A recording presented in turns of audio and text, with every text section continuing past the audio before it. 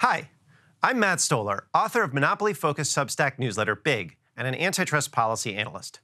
I have a good segment for you today on this big breakdown. It's about AI and the policy choices we're making right now to structure how this remarkable technology is deployed. So let's dive in. Okay, so there's a ton of chatter these days about artificial intelligence on Wall Street, within government, all over Silicon Valley, in the media, in Congress, constant hearings, constant chatter. Um, as just one example, let's let's take a listen to 60 Minutes last month. We may look on our time as the moment civilization was transformed, as it was by fire, agriculture, and electricity. In 2023, we learned that a machine taught itself how to speak to humans like a peer, which is to say, with creativity, truth, error, and lies.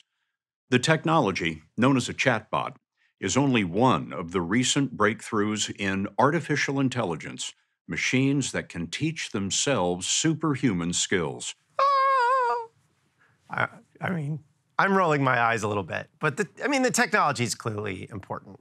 Uh, it's not like fire or agriculture, but it's a big deal. Okay, so what, what is it? What is this machine learning stuff? Why is everyone so excited?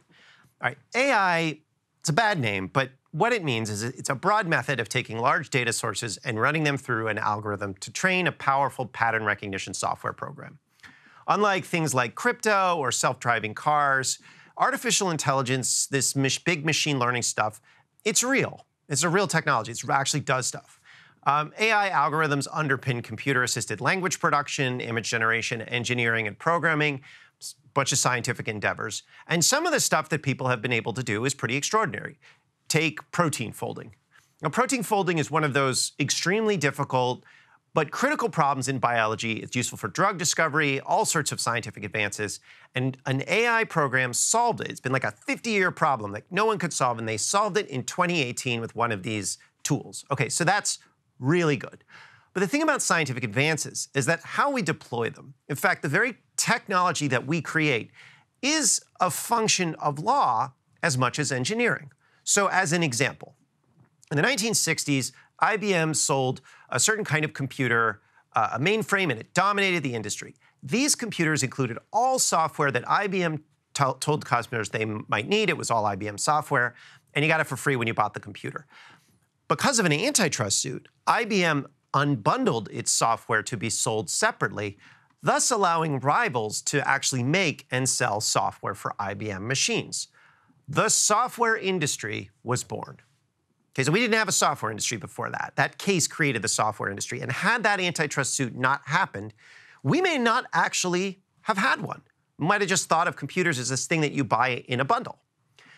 In other words, there's no one path for technology. Technology developed under different legal regimes, even if the know how, the scientific knowledge is similar, actually is fundamentally different. And the thing is, is the monopolists know this. Okay, so now with all that in mind, with that context, let's talk about the politics of AI. Here's former Google CEO Eric Schmidt, who is a monopolist par excellence, explaining that the industry should set its own rules. Let's take a listen. It shouldn't be a regulatory framework. It maybe shouldn't even be a sort of a democratic vote. It should be the expertise within the industry helping sort that out. The industry will first do that. Mm because there's no way a non-industry person can understand what is possible. It's mm. just too new, too hard. There's not the expertise. There's no one in the government who can get it right.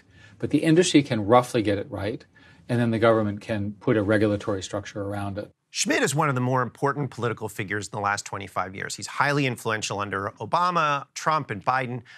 Also, the architect of Google's monopoly, one of these people that spans business and politics in a really savvy way.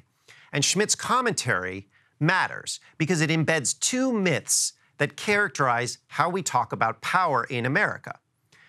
The first is that markets exist as part of the state of nature until this external force called government comes in and regulates them. Now, that's, that's not the way things happen. The truth is, it's not whether to regulate markets, but how. Markets are not natural things. They are political institutions structured by human beings. There's all sorts of different types of markets. So, for example, social media, it's a regulated industry. It's not unregulated. It's, it's just regulated to let Mark Zuckerberg decide what happens. And underpinning Zuckerberg's power is a whole host of public rules, from the corporate charter itself to property rights, which are mandated by government, to restrictions or abilities to use data in different ways. Now, Eric Schmidt's myth, and it's a broadly held myth, is is done for a specific reason. They want to set up a question of whether we should regulate as opposed to discussing how to do so.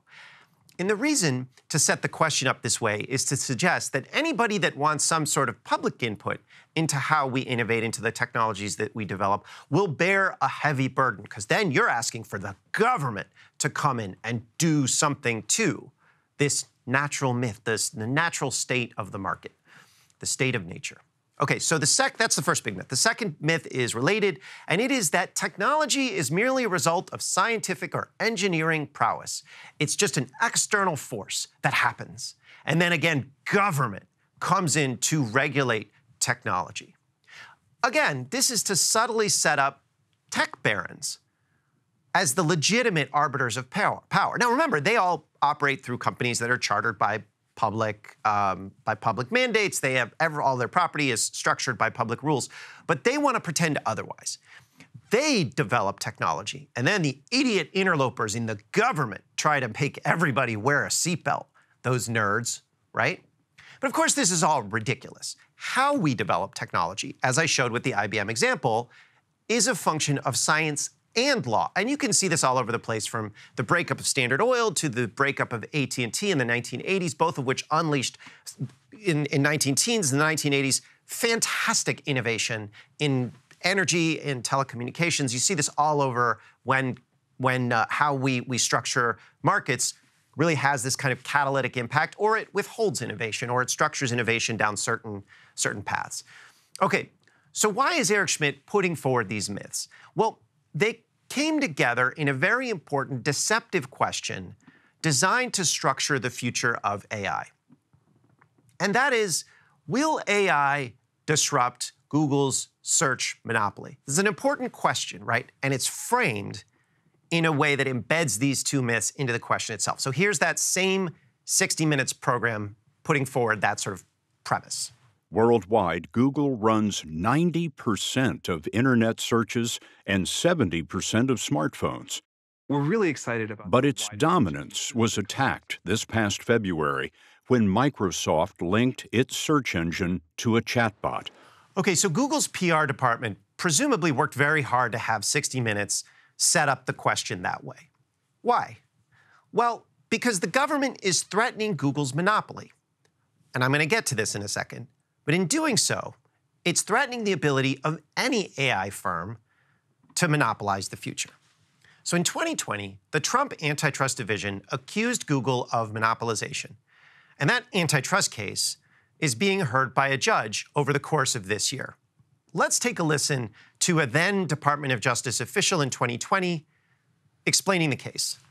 This morning, the Department of Justice and 11 states filed an antitrust civil lawsuit against Google for unlawfully maintaining a monopoly in general search services and search advertising in violation of Section 2 of the Sherman Act. Okay, so specifically, the argument is that Google excluded competitors from the search market by making sure that Google is the default search engine anywhere you go. So, for example, the company pays 15 to 20 billion dollars a year to Apple to force iPhones automatically bring up Google search as the default instead of, say, something like Microsoft Bing. Um, Google bought Android, which is the operating system for the majority of mobile phones globally. It puts its search engine in front of users as the default, and then it collects search data from those users. It uses that data to tweak its own products, but also prevents its rivals from getting that data to improve theirs. In essence, one way to think of it is that Google bought up all the shelf space and says you can't put rivals on the shelf space. It's just Google search. In all, Google pays $45 billion a year for contracts, just domestically, for contracts to block out rivals, signing deals with, and here I am quoting directly from the DOJ filing, Apple, LG, Motorola, Samsung, major US wireless carriers such as AT&T, T-Mobile, and Verizon, browser developers such as Mozilla, Opera, US, US, UC Web to secure default status for its general search engine and in many cases to specifically prohibit Google's counterparties from dealing with Google's competitors. Okay, so you can see the resulting decade long search monopoly in this timeline of the search market. Now, if you look at it, the most dangerous time for Google was between 2010 to 2012 for two reasons. First, the government came close to getting an antitrust suit. The government investigated, but it actually didn't bring a complaint, unfortunately. Second, at the time, in 2007 or so, Google had a desktop search monopoly. But the iPhone, the smartphone, starting in 2007, but really accelerating into 2009, 10, 11, 12, it opened up a new market and opportunities for new kinds of search engines that used location data and other, other things you can have on a phone. And these were potential rivals to Google. Consumer habits in desktop were, had solidified, but they hadn't in mobile search. At the time, though, and this is one of these inflection points, kind of like the inverse of what happened in the 60s with the IBM, uh, IBM uh, antitrust suit, policymakers decided to allow Google to leverage its power in desktop search to grab mobile search. So Google bought Android. And that didn't go challenged. There are laws you could challenge mergers, but the government didn't bring a challenge. And then it had all these contracts with distributors that were explicitly excluding rivals, and the government didn't challenge those either. So that technological inflection point is similar to where we are now with AI. As was the case then, there are lots of potential paths for what kind of technology we develop, what kind of AI-enabled web we have. And there's a, there's a there's a good analogy. Like the Google story is sort of sad, but it was um, there's a, there's a better case where we can look at how stuff worked really well, not, and we don't have to go back to the 60s. The Google case that the government is arguing right now is built on a similar case brought when Microsoft was busted in the 1990s for doing something to a browser company called Netscape. Microsoft wanted to dominate this new thing called the internet. So it bundled its browser, its own browser, Internet Explorer, with its operating system and paid distributors like internet service providers such as AOL, Yahoo at the time, to not carry its browser rival Netscape. In short, like Google is doing now, it bought up all the shelf space and tried to deny that shelf space to rivals. The goal for Microsoft was to make sure the entire web belonged to them. There's a lot more there, but I'm not going to go into it. Uh, fortunately, though, the antitrust division brought an antitrust case. And so Microsoft didn't use its power over browsers to block the next generation of innovators. That again, that Microsoft lost the case, but the remedy was overturned on appeal. Very complicated. But the, but the basic point was brought forward in an article in 2020 by Charles Duhigg at the New York Times, who went back, talked to a bunch of Microsoft insiders about what happened in that period from the late 1990s to the mid 2000s when a whole bunch of new companies like Google and Facebook and Amazon were growing. So here's what they told him. He said insiders were thinking of reprogramming Microsoft's web browser, the, the popular Internet Explorer, so that anytime people typed in Google, they would be redirected to MSN search. Or perhaps a warning message might pop up Did you know Google uses your data in ways you can't control? Now, Microsoft was so powerful and Google so new that the young search engine could have been killed off. Um, but, quote, there was a new culture of compliance and we didn't want to get in trouble again. So nothing happened. The myth that Google humbled Microsoft on its own is wrong. The government's antitrust suit is a reason that Google was eventually able to break Microsoft's monopoly. If Microsoft, quote, if, quote, if Microsoft hadn't been sued, all of technology would be different today. That was a different lawyer involved in the case. Again, there's no such thing as an unregulated market. There's no such thing as deregulation. This is, this is bad language, bad concepts to stop us from thinking about power. We chose to regulate the uh, browser market, and, and operating softwares in the early 2000s to allow Google and a whole bunch of other companies to escape Microsoft's clutches, just as we chose to regulate the market in the 2010s to allow Google to crush its rivals in search and throughout the web. And these choices led to different political and technological destinies. A lot of innovation, much more decentralized market in the 2000s, a lot of, uh, of authoritarianism, a much more monopolized market in the 2010s. So let's get back to the current case against Google. The judge is a guy named Amit Mehta, and he is set to decide whether to toss the case, to narrow it, or to let it go to trial. In a recent hearing, the potential competitive threat of new technologies like AI chatbots came up, and the judge Mehta, what he was intrigued, and he sort of bought into the myths that Eric Schmidt was peddling, but he wasn't totally sold. So now it's worth asking the question if AI is so great, why aren't AI empowered search engines being offered to consumers right now where they actually engage in search? Now, Microsoft tried to do this, and a few months ago, Microsoft's Bing did actually get a slight bump in usage.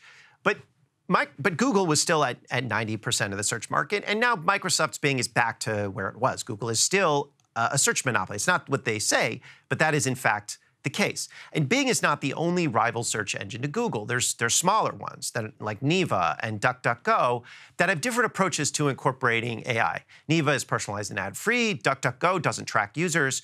So these are differentiated products that you can use if if you want.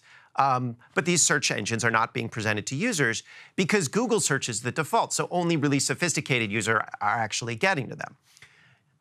So unless Judge Mehta rules against Google, then as Google rolls out its own AI programs, Google's AI programs will be the default as well. So here's a video on how Google is going to turn the whole web into its own walled garden by integrating everything that it has. That's remarkable. And they're going to keep doing things like that to, to make the web uh, its own walled garden. In fact, Google, using AI, will probably attempt to eat the whole web. Now, so that means that at worst, Google is going to control pretty much everything that we see. It, it, won't, it won't just control directing us to, to what we see, it will control what we see.